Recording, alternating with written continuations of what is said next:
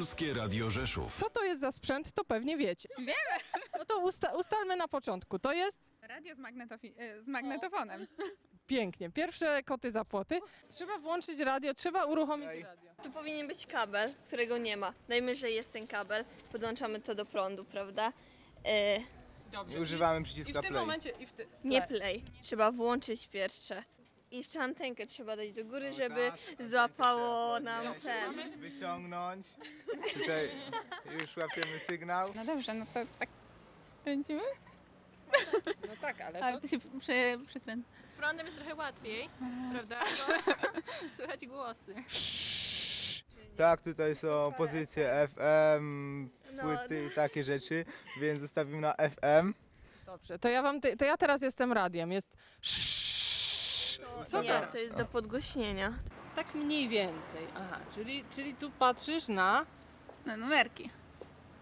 I tu mam 70, to będzie gdzieś tutaj. Ja nie mówiłam, że będzie łatwo, ale wy jesteście mądrzy, więc... Nie, to a się Yy, rusza tutaj? Tutaj Zobacz. ustawiamy, pani wydaje różne Idzie to? inne dźwięki Tak, tak, tak, tak. No to jest to do i nagle tego. pani załapała. Polskie Radio Rzeszów. Droga młodzieży, czy słuchacie radia? Tak, słuchamy i Co słuchacie w radiu? Jak włączacie radio, czego w nim poszukujecie? e, no najbardziej te najnowsze piosenki. Najpopularniejsze. Tak, na czasie. Mm, Przede wszystkim muzyki, ewentualnie jakichś informacji. No, jakichś takich piosenek, które lubię, które mm, mnie poruszają jakoś. Czy radio jako takie m- ma przyszłość według Pani? No myślę, że tak. Czyli będzie jeszcze funkcjonować? No jeżeli ma ktoś takie zdanie jak ja, no to raczej na pewno. W dobie internetu wydaje mi się, że ciężko przetrwać będzie radio. Wszystko mamy w internecie.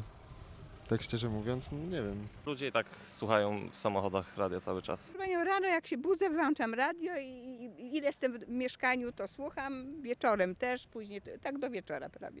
Po prostu muzyka ma przyszłość, a w radiu zawsze leci coś, coś do posłuchania, więc wydaje mi się, że wywiady też są ciekawe i można się dowiedzieć różnych rzeczy.